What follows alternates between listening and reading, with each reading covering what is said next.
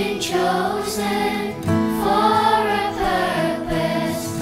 I'm a child of God.